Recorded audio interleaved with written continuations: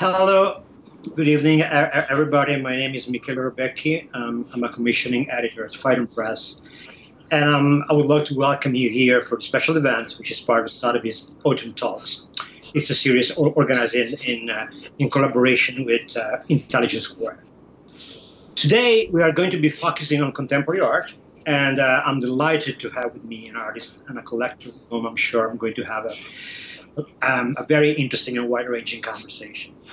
So joining us from Los Angeles, California is Sterling Ruby. Um, Sterling Ruby is an artist known for the wide variety of different media that he uses, from ceramics and paintings and drawings and installations.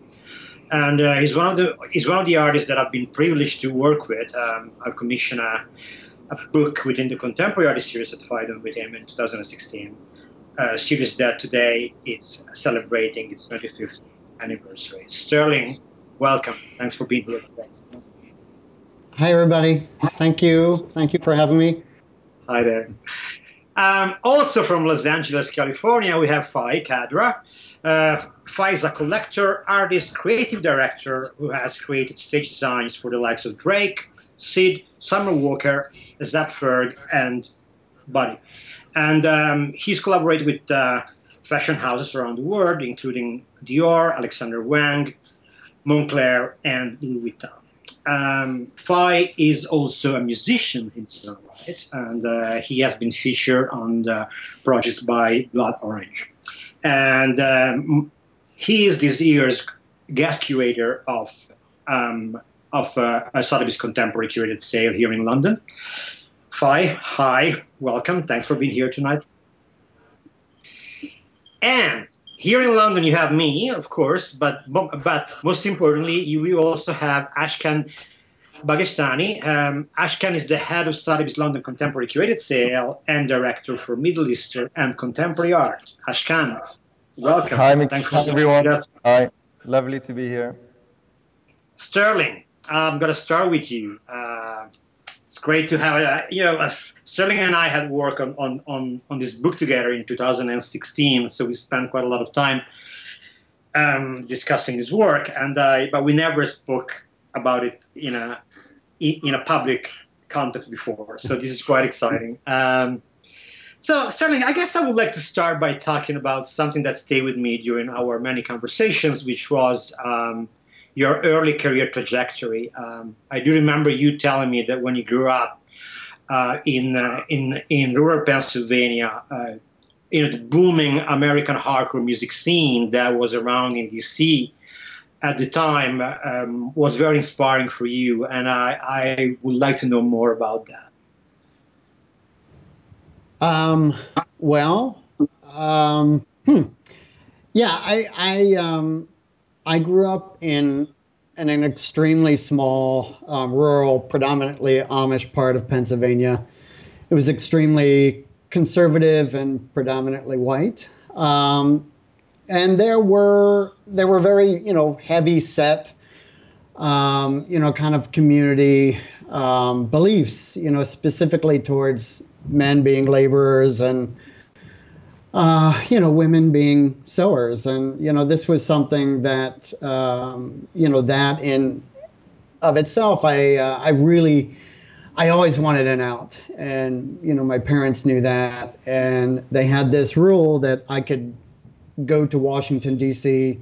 or Baltimore on the weekdays uh, as long as I got up in time to go to school. Um, so, you know, I had a lot of friends who were older and who drove. Um, this was probably during the early, you know, or mid 80s to early 90s. This would be the uh, the Reagan and Bush years, really. And I was um, I was lucky enough at a very early age to to kind of you know start to see this scene um, you know you know blow up over time. And I was lucky enough at that age to be able to see bands like Minor Threat or Bad Brains, uh, Black Flag, and you know it it hasn't really been until recent, you know, probably the past ten to twenty years where I've realized that that had a significant, um, you know, kind of importance to me as an artist. Um, you know, there was no art where I grew up. There was only craft. Um, there was no music scene, and so to be able to get out and to experience this had a lot of uh, impact on me, not only from the kind of political uh, aspect of that, but also the kind of visual culture and the DIY movement, such as posters and flyers and, and albums. Um, yeah, yeah. Yeah, no, I do remember especially uh, um, Raymond Pettibon famously designed the Black Flag logo that you just you mentioned, which was quite, which was so impressive to me. The you know this kind of uh, these four pistons conveying this sort of movement and at, at the same time representing the black flag. Uh, right. Yeah. I mean, the, the, you know, for me, there was there was. I didn't actually realize that that was happening. That you know, I was being you know kind of like um, entered into a movement that had a lot of um, uh, politic and kind of um, um you know this this kind of stance against the the government and against and against um, you know uh, America and against you know this kind of middle uh, conservative uh, you know kind of um, ideology that was so prevalent at the time and it's you know weirdly so prevalent now. Yeah, indeed. Um, Fai, would you like to tell us a bit about your background? Um, yeah, I mean, I was born here in Los Angeles and have grown up in you know a couple of different places in the world, in London and Dubai, and um, you know, for me, I've always been interested in, and I, you know, in kind of multidisciplinary and multi, uh, in ways in which having a creative outlook can expand itself into different um, fields, whether architecture, music, stage design, fashion. To me, it's just um, kind of more about a perspective, and you know, so I think that could that's kind of manifested itself in my life today.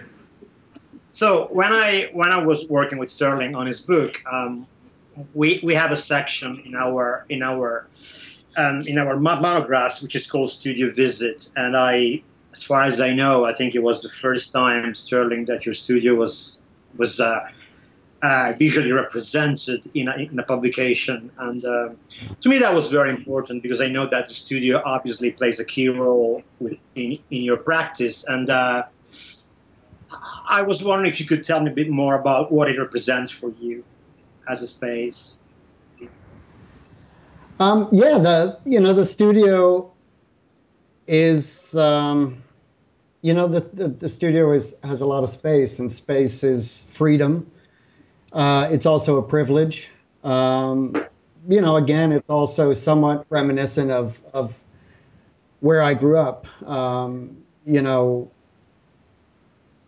we had no neighbors. You know, there was miles and miles and miles of land to the to the next neighbor. You know, it, it took me an hour on a bus to get to school, and so this this idea of expansive space um, was something that I kind of yearned for, you know, after having really solidified my my time in Los Angeles.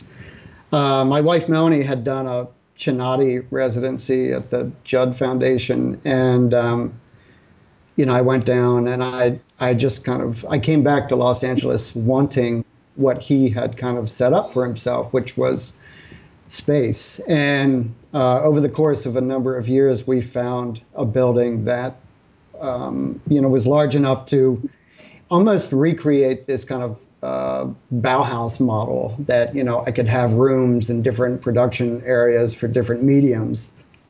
Um, it's um, you know it's it's definitely um, again like this this kind of thing that I think a lot of artists my generation and even younger are kind of considering. You know, after having such a kind of conceptual performance-based history prior to you know my coming of age, I guess there was something that was very desirable about making something and about working with materials and kind of um, setting up a studio space that you went to every day and spent time in.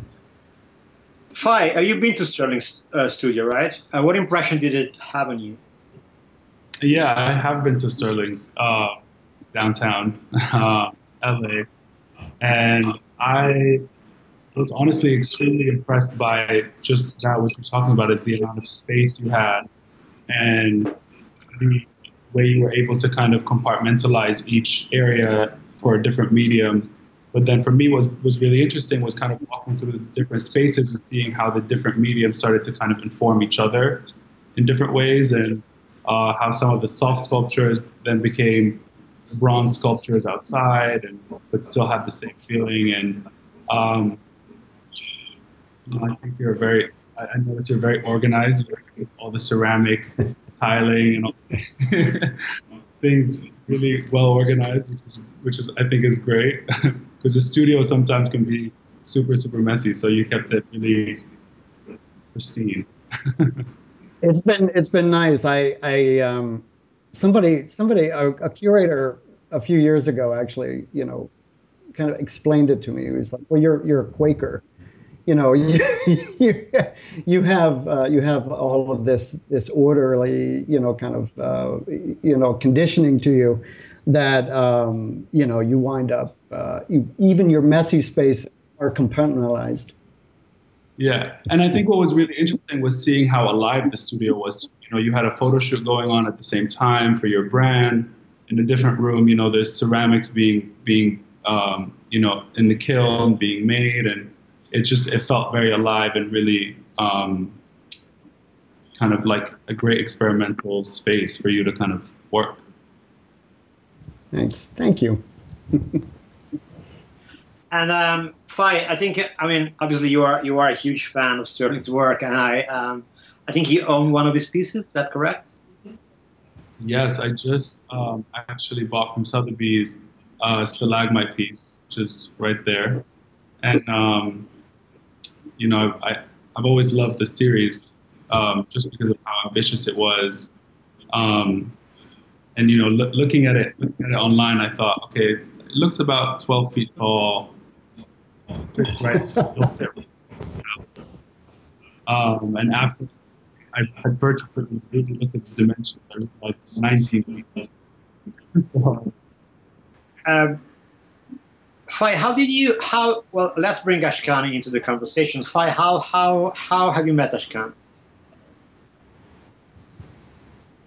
Well, Ashkan actually reached out to me um, a little bit okay. ago to to to you know to potentially participate in in the contemporary curated series, and. I always thought it was a really interesting series, and I always um, love the idea of having some you know somebody curate a sale.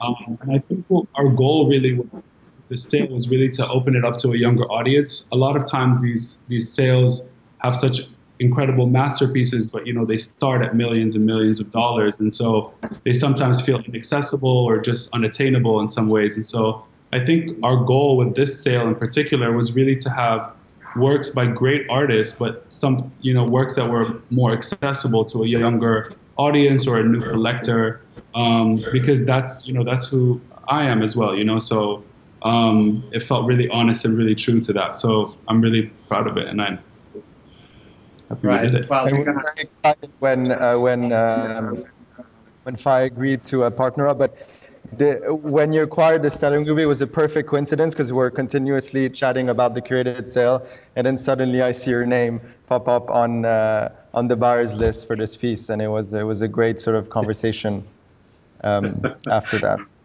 And you you went right. to see it uh, at our warehouse when you came to London, which I think you were a yep. bit impressed by the size of it. Right. So well, we're going to talk a bit more about your collaboration yes. later, but I'd like to go to go back to Sterling for a second. Um, Sterling, one thing I, have noticed when I was working with you, and for quite a lot of people know this already, is that you are you seem to be conversant with a with a with a with a with a large number of different media, and um, and I was wondering how do you choose the best way to represent an idea? You, what's the starting point? Do you have a favorite medium at all? And what's the, I guess I would like to know also what the ultimate drive behind this variety. Sorry, carry on. I don't necessarily have a, a medium that is uh, my favorite per se. Um, you know, I, I feel as though working in this kind of interdisciplinary manner is is relatively manic, and it kind of matches my my personality. Um, it's not that I'm opposed to want making one particular type of work in one medium for the rest of your life. It's just that's not how I'm hardwired.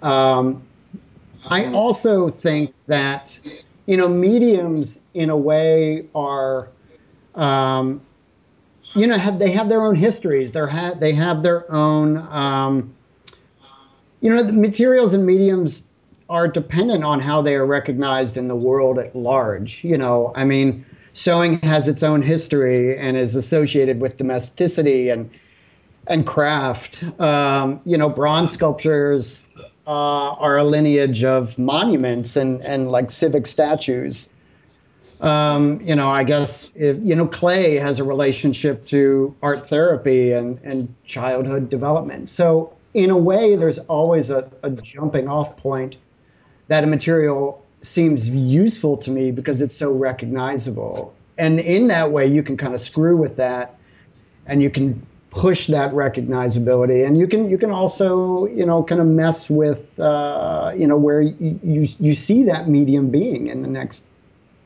right. 100 years. Right. And you also have the spray paintings, of course, that they, they themselves are, uh, you know, have strong association with street art and. Without a doubt, I mean the spray paintings, you know, uh, were for me very much about what I saw every single day in the in the neighborhood right. that I lived in. Um, and there was like these kind of like power um, structures embedded into graffiti. But it also it just it became a medium for me, much like any other painting medium, and I was able to kind of look at it in a very didactic way to make these landscapes and so forth. Right. But overall, I always think that a medium has some sort of uh, theoretical, like kind of context to it that helps me, you know, kind of make those decisions what to use. Right. Um, one of my favorite groups of works of yours um, is the Flag series. Um, I've been busy working on a on, on, a project about the, the, the American flag for some time. I don't know if you ever, ever come to anything, but I, um, I was wondering um, how, what was the decision behind what was the you know the driving force behind your decision to to work with the flag. I think it's uh, you know especially considering that there are historic historical precedents like you know Jasper Johns uh, uh, uh, is is the first that that that uh, that might come to mind, but there are others like David Hammons or uh, you know Thornton Dial or uh, even Jon Hendricks when he, he organized a very iconic show in the 60s about the desecration of the flag. So what does the flag represent to you, especially in this time and age?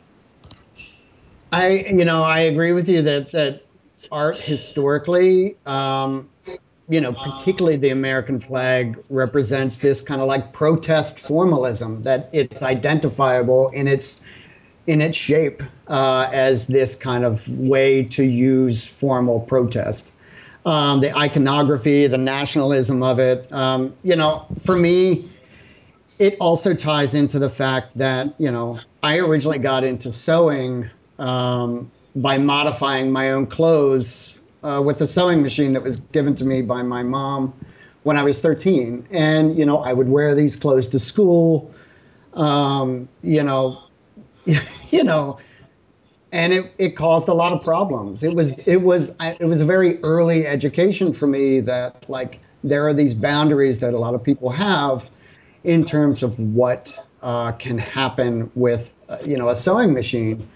Um, and you know i use that kind of misconception of my you know my community as as a kind of like protest in a way.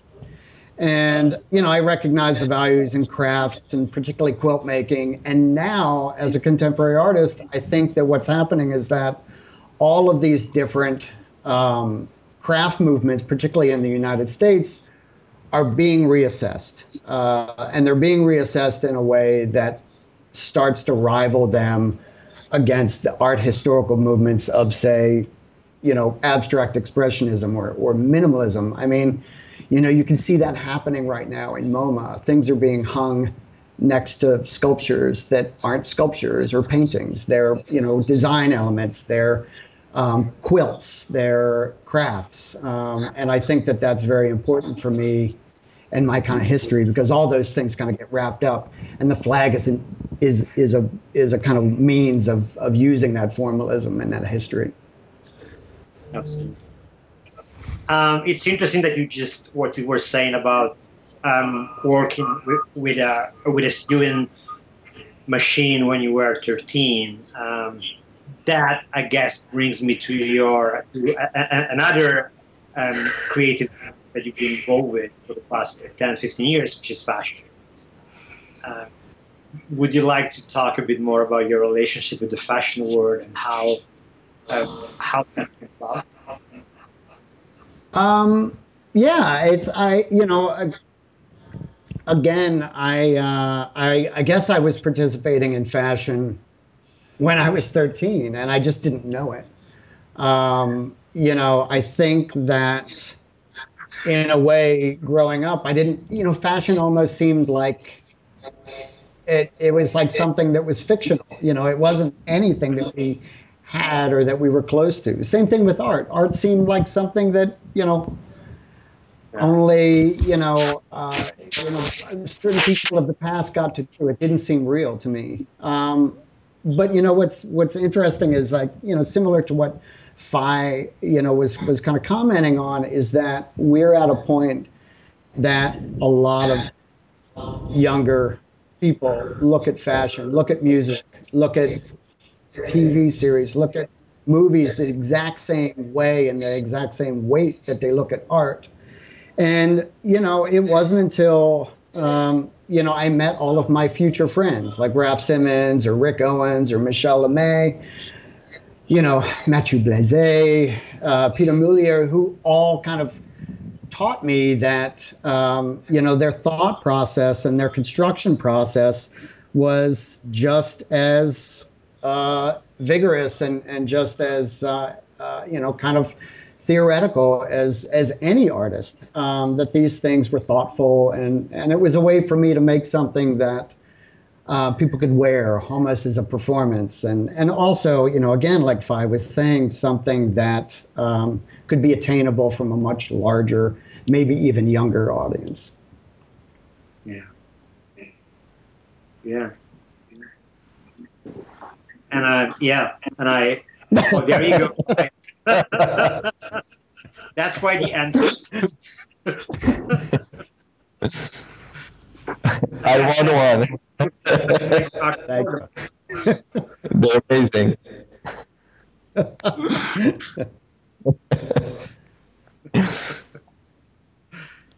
and Fai, I guess is you know, tell me more about that. Tell me more about your uh, uh, how you going about um, collecting. Um, I mean, for me, uh, you know, I've always um, my my mom uh, has had a store since I was really young, so I've always been around the fashion industry and always um, like kind of grew up with fashion around me. So um, I think it's a beautiful way to um, express yourself and kind of and I think just like Sterling said, there's there's been such a huge shift in the fashion world to kind of um, kind of like hug in a sense, like even the way you know I think Kim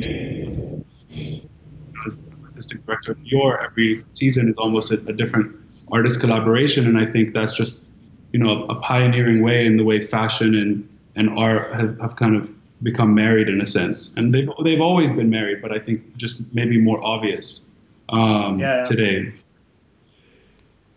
I think I think yeah. you know one of the things that that Fai and I are kind of like talking about is hierarchies. Um, you know that that all of these hierarchies are starting to break down. It's kind of, I mean, you know, considering everything that's going on right now, it's an amazing point in time because all of these things are being kind of leveled out and looked at in the same in the same way. Um, and I kind of love that. I, I I think of that as collage you know, I think of that as, um, you know, this this kind of role to flatten, uh, similar to the way that the Bauhaus movement did. That things are now of equal equal weight. Yeah. Yeah. Yeah. I mean, I guess the difference though is also that you need hundred thousand of people to to make a fashion item successful. You only need one person to make an artwork successful. I don't know. We're trying with a very small team.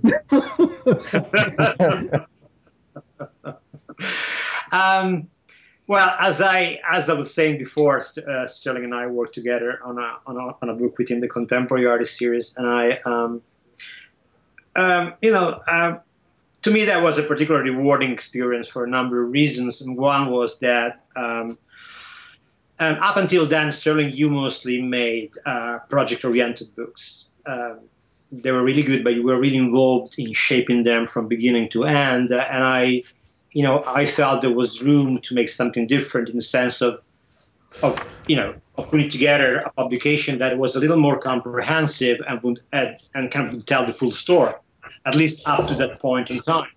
Uh, but of course, you know, I, I understand that every time I invite an artist to work with me, I understand that, you know, you know, the series has a very strict format.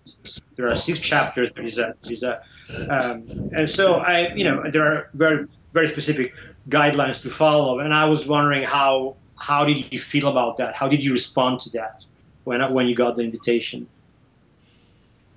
Um, you know, I was very happy when you invited me to do it. Um, uh, you know, for me, books, you know, books are, are like they're they're very important to me. I mean, we're you know, Michaela, you and I are from a generation that um, we didn't have you know Google searches, you know, when you know we were, we were you know at an at a particular age, um, and books were always to me something that was accessible and visual and you know as a almost as a means of collecting the same way that you would collect a record and you know and you know it's also I didn't you know, I, I remember the contemporary, the Phaidon Contemporary Artist series because it's the first time that I bought a Jenny Holzer book.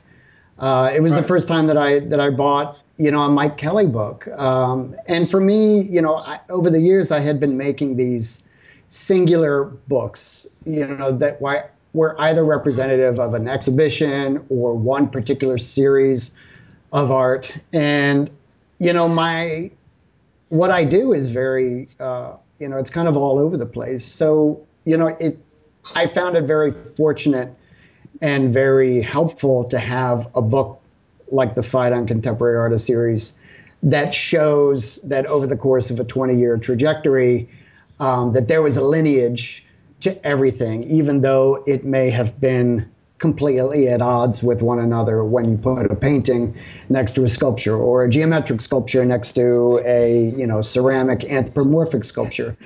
It it was like the first opportunity that I got to hold something that kind of showed and explained uh, in visual uh, context how my work operates. It was also, you know, I have to say that working with you and, you know, kind of being able to be choosy um, uh, about who writes about my work. And so we got to choose people, curators and writers and critics who have been with me the whole time, my friends, you know. And so in a weird way, it's it you get to be able to put together this thing that is a true representation of of like uh, a, a, period of time, a survey almost. Yeah, no, I, I, was I was especially grateful that you gave me you gave me an opportunity to work with Franklin Sirmans, who was one of the contributors to the book, because Franklin has been one of my one of my oldest acquaintances, friends, and within the contemporary art world. So uh, but we never had a chance to work together on one of these books. So uh, when his name came up in conversation, I was over the moon. I was like, "Oh, this is going to be so much fun." yeah, yeah, and, I know, and it was. Uh, I mean, it, it, it, it, took a long time, but it, it really was a, a super intimate, um, you know, project to put together.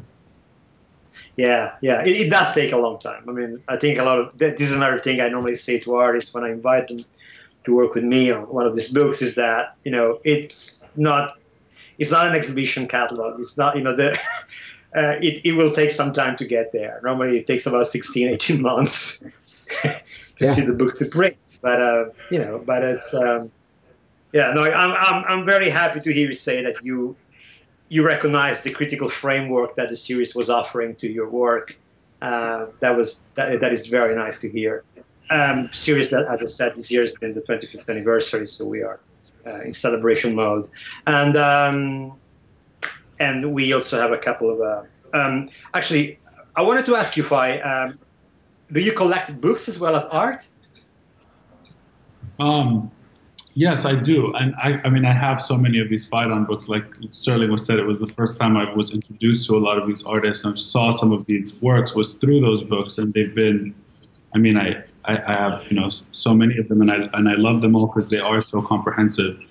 Um, but you know, I think collecting art is, is you know similar to like collecting books. It's a very like personal experience. It's a it's something that you know as you go and and change things, your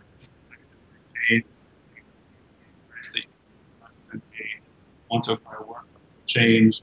Um, and I think that's part of the beauty of collecting. And I think, you know, once you start really living with art in your home and art around you, just becomes addicting. And I think, you know, you just kind of want to accumulate more and more.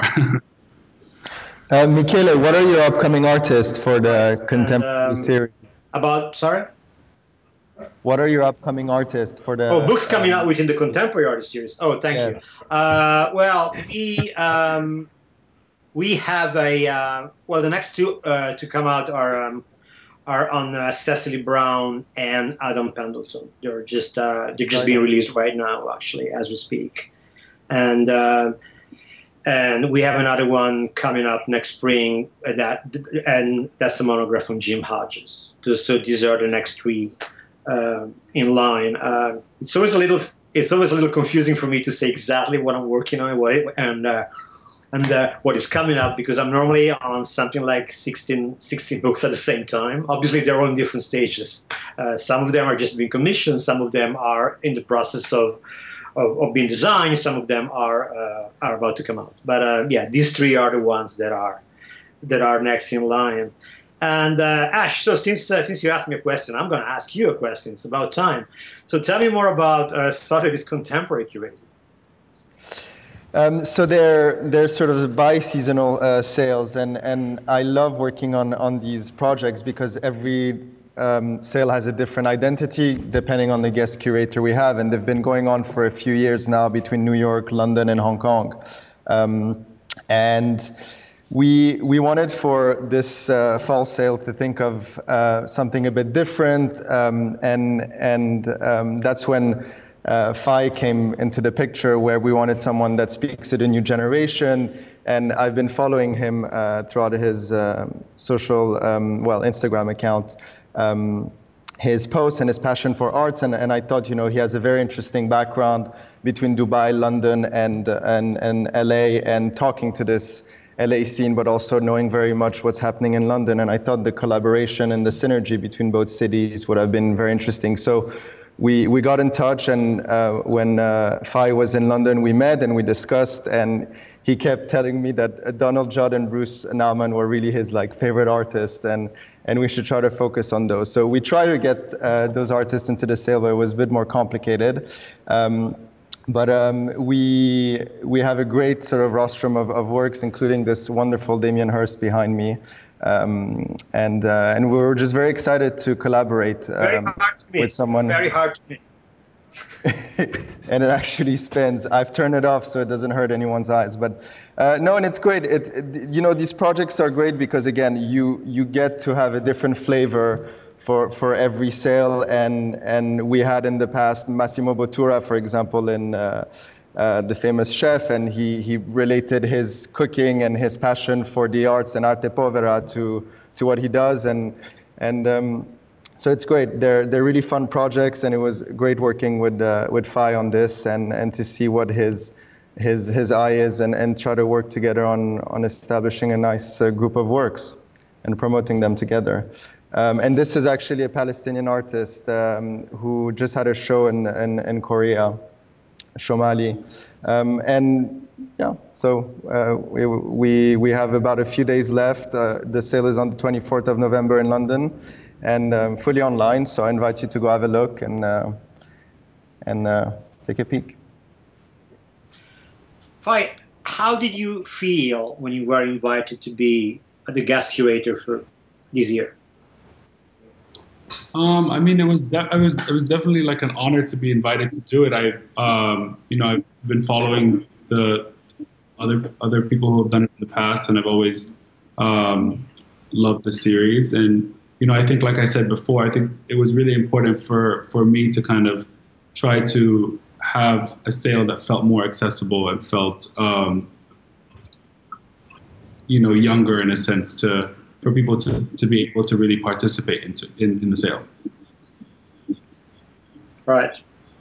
And the um, Ash, the contemporary curated sale in London is um, on the 24th of November. All right. Next okay. Tuesday uh, at 2 p.m. Okay. Yes, uh, okay. we have a limited preview, but unfortunately, it's not open to the public. But um, we'll put as much as we can on social media. Yeah, I guess that was.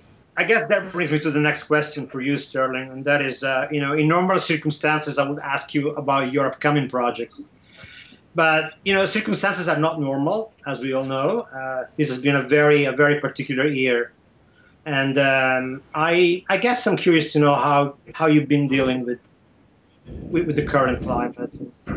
You know, kind of contribute to you know you know reshaping some of your ideas or or, uh, or future plans? Um, you know, I, I, guess you know to a certain extent since March, um, you know, every everything has has really changed for us. Um, you know, I I think uh, you know by the time the the end of April uh, came around, I I don't know. I had this I had this sense that um, you know all of this was should be this kind of reflexive and and even self-reflexive kind of time to kind of reassess where everything was and to kind of slow down.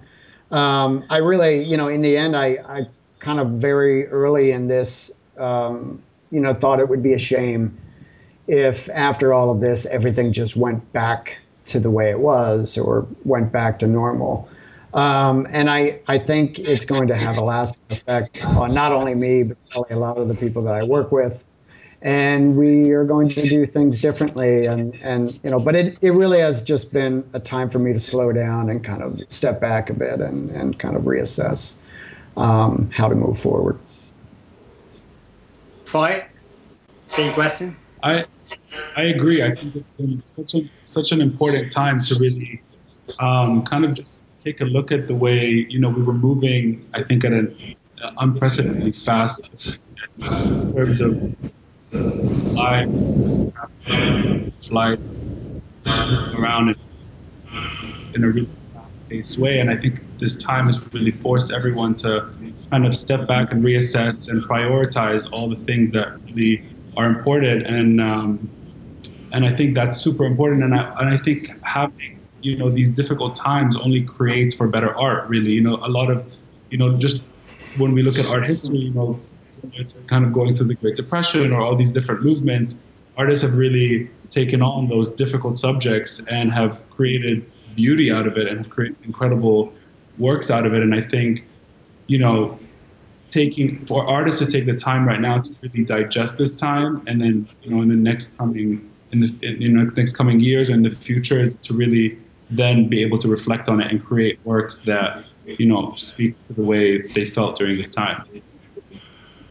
Right. Um, yeah, I guess, Sarah, that brings me to something um, kind of un- un- unrelated. But I, um, how did you how did you struggle that thing? Well, I think um, you know my parents are my parents are collectors, and I think I've always kind of grown up uh, around art, and you know I've always kind of wanted to start my own collection. So, um, you know, it was always interesting to see you know going to different museums and going to different galleries, all the kind of pieces that I would one day hope right. to live with, of course, you know, um, and it was. Uh, you know, it's still it's still a process. I mean, there's a, there's a place here in LA that I really love, and I, you know, anyone that comes to visit me in LA, I try to take them to. This place called the Weisman Foundation, uh, and it's this home in Beverly Hills and he was just a great collector um, really early on, and has you know since his passing has turned his home into a foundation. And so it's it's a free tour for anyone to go in and um, you know just walking through this home in Beverly Hills and seeing all these incredible you know, you walk in the foyer, there's like a beautiful Clyfford Still. In the next room, there's a Rothko and a de Kooning and a Bacon and all these um, Oldenburgs and all these beautiful works. I mean, every part of the house, every corner is filled with a painting. I mean, there's, there's works on the ceilings, you know. So, um, right. so I, you know, kind of have, you know, I think it's such a beautiful story to have a collector like that who kept all his collection in his home and has opened it up as a foundation for people to come and see how beautiful it is, how important it is to live with art. Yeah. Yeah. I think that that's, I think, you know, uh, you know, Fai's gesture of, of, you know, uh, wanting to live with art is actually, I mean, for me, a very important kind of intimate, um, you know, message. I mean, as an artist, I, um, I really love the fact that you know that you might install a work of mine in your home in this kind of domestic, intimate setting and walk by it every day and kind of sometimes ignore it, sometimes glance over from the TV and look at it. Uh, other times just sit and stare at it. You know, to me, that's that's probably one of the um, uh, kindest, most uh, you know, uh, powerful um, means of, of kind of contributing to, to, to, to the art is to look at it. Uh, and weirdly enough, I don't know if that always happens. And so, you know, Fai, thanks for cutting a hole in your roof to put the stalagmite in your house.